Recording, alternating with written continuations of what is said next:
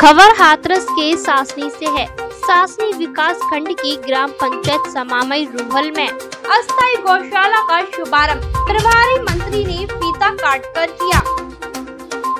इस मौके पर सदर विधायक अंजुरा सिंह माहौर प्रदेश उपाध्यक्ष देवेंद्र सिंह, जिला उपाध्यक्ष प्रेम सिंह कुशवा अविनाश तिवारी, रामवीर सिंह भैया, जिलाधिकारी अर्चना वर्मा, मुख्य विकास अधिकारी Sahitya Prakash Mishra PD DC BDO ADO Sasni व ग्राम प्रधान एवं भाजपा पदाधिकारी ग्रामीण मौजूद रहे।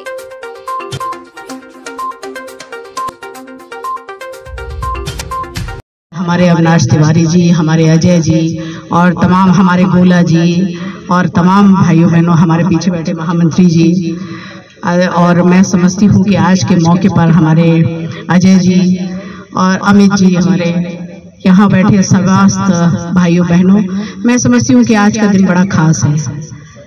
हमारे मुख्यमंत्री की बहुत महत्वाकांक्षी योजनाओं में से एक योजना का लोकार्पण यहाँ हुआ है।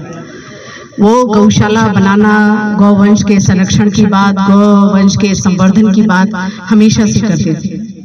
और उन्होंने उसी श्रृंखला में जब सबसे पहला काम गायों को बचाने का किया जो स्लॉटर हाउस में जाती थी और उसके बाद जब गायों की बड़ी समस्या हो गई कि उनको कहाँ रखा जाए तो उन्होंने गौशाला के बड़े स्तर पर निर्माण की बात कही।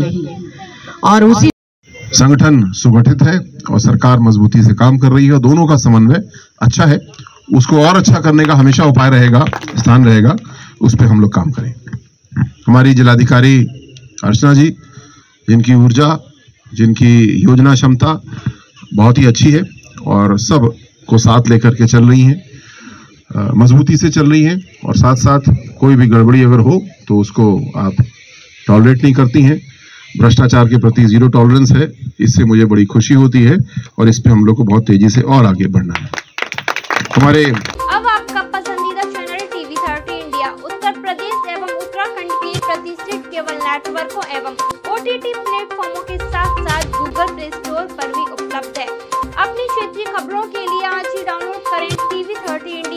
एंड्रॉयड ऐप एवं जुड़े रहे टीवी थर्टी इंडिया के